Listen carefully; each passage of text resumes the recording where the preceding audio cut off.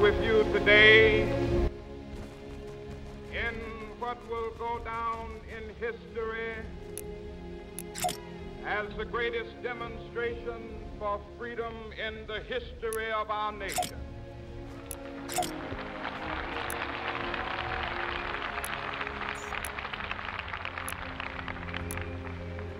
Five score years ago,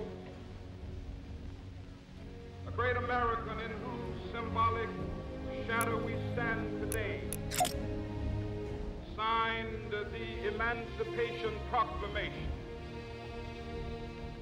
This momentous decree came as a great beacon light of hope to millions of Negro slaves who had been seared in the flames of withering injustice. Came as the joyous daybreak to end the long night of their captivity. But 100 years later, the Negro still is not free. 100 years later, the life of the Negro is still sadly crippled by the manacles of segregation and the chains of discrimination. 100 years later, the Negro lives on a lonely island of poverty in the midst of a vast ocean of material prosperity. 100 years later,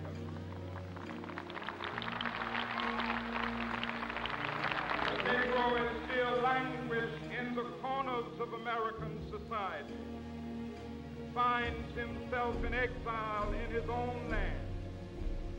So we've come here today to dramatize a shameful condition. In a sense, we've come to our nation's capital to cash a check. When the architects of our republic wrote the magnificent words of the Constitution and the Declaration of Independence, they were signing a promissory note to which every American was to fall heir.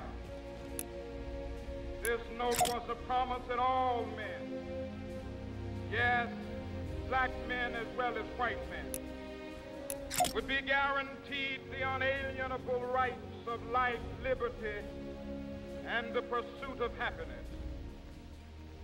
It is obvious today that America has defaulted on this promissory note insofar as her citizens of color are concerned.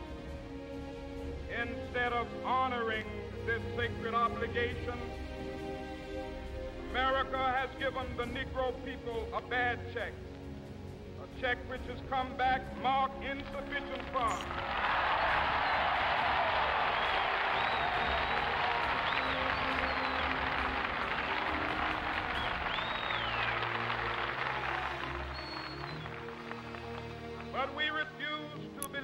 That the Bank of Justice is bankrupt.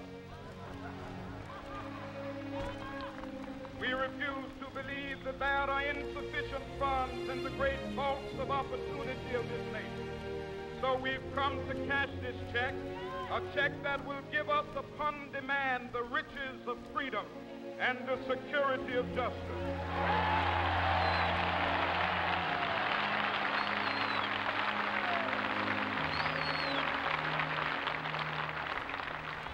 Have also come to this hallowed spot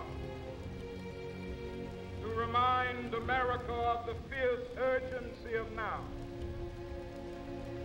This is no time to engage in the luxury of cooling off or to take the tranquilizing drug of gradualism.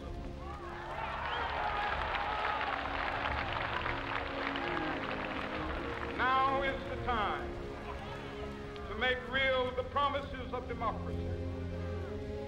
Now is the time to rise from the dark and desolate valley of segregation to the sunlit path of racial justice. Now is the time to lift our nation from the quicksands of racial injustice to the solid rock of brotherhood. Now is the time. Make justice a reality for all of God's children. It would be fatal for the nation to overlook the urgency of the moment.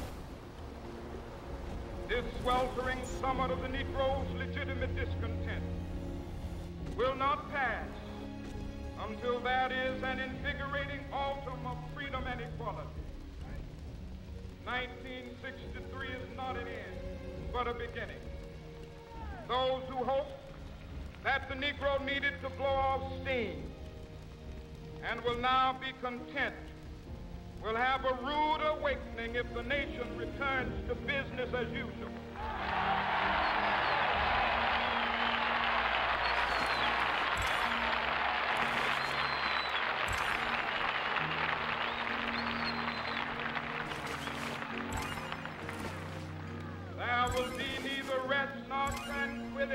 America till the Negro is granted his citizenship rights.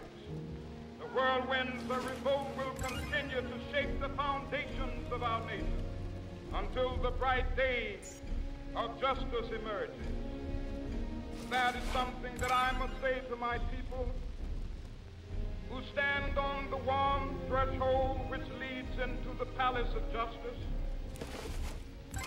In the process of gaining our rightful place, we must not be guilty of wrongful deeds. Let us not seek to satisfy our thirst for freedom by drinking from the cup of bitterness and hatred.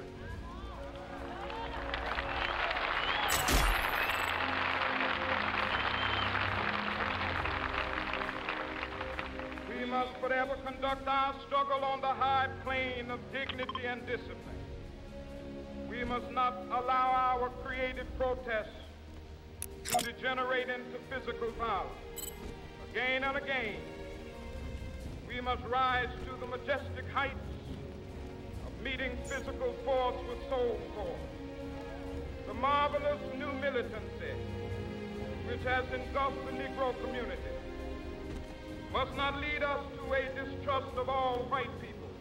For many of our white brothers, as evidenced by their presence here today, have come to realize that their destiny is up with our destiny.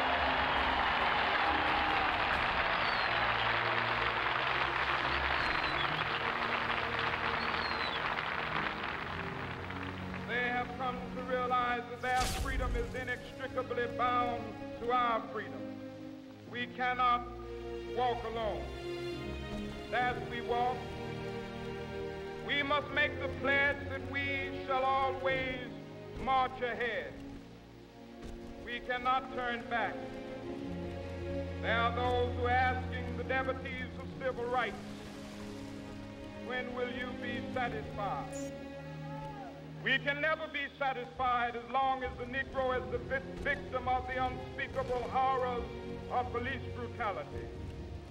We can never be satisfied.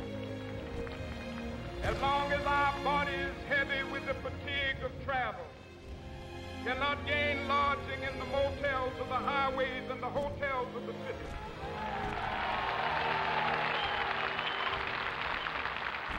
We cannot be satisfied as long as the Negro's basic mobility is from a smaller ghetto to a larger one. We can never be satisfied long as our children are stripped of their selfhood and robbed of their dignity by signs stating for whites only.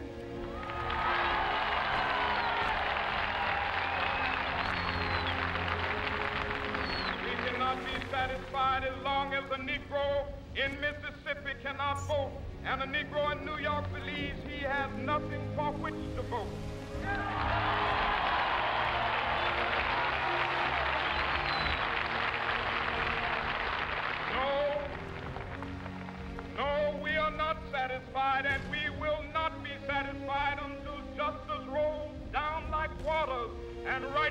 Like a mighty stream.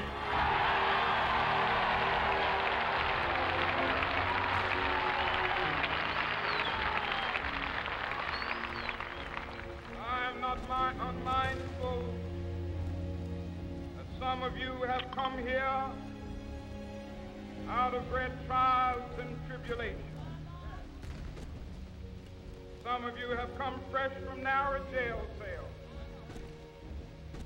Some of you have come from areas where your quest for freedom left you battered by the storms of persecution, staggered by the winds of police brutality. You have been the veterans of creative suffering. Continue to work with the faith that unearned suffering is redemptive. Go back to Mississippi. Go back to Alabama. Go back to South Carolina. Go back to Georgia. Go back to Louisiana. Go back to the slums and ghettos of our northern cities. Knowing that somehow this situation can and will be changed. Let us not wallow in the valley of despair. I say to you today, my friends,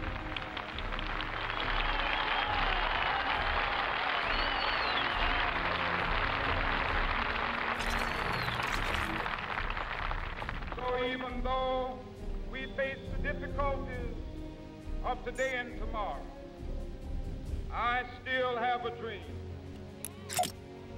It is a dream deeply rooted in the American dream. I have a dream that one day this nation will rise up, live out the true meaning of its creed. We hold these to be self-evident that all men are created equal.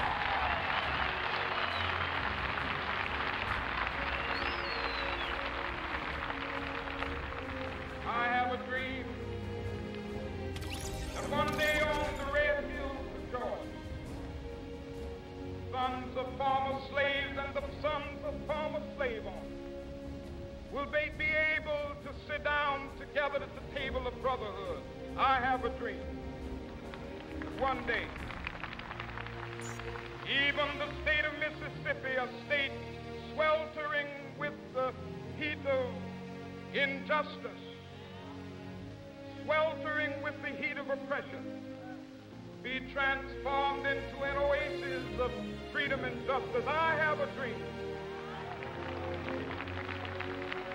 My poor little children will one day live in a nation where they will not be judged by the color of their skin, but by the content of their character. I have a dream today.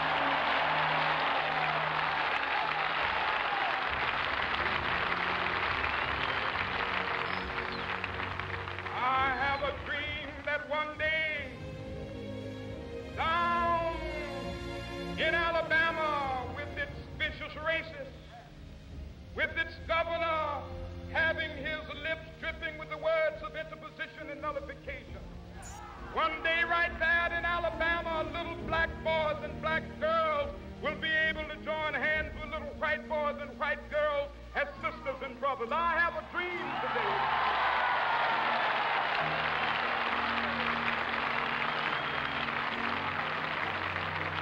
I have a dream that one day every valley shall be exalted.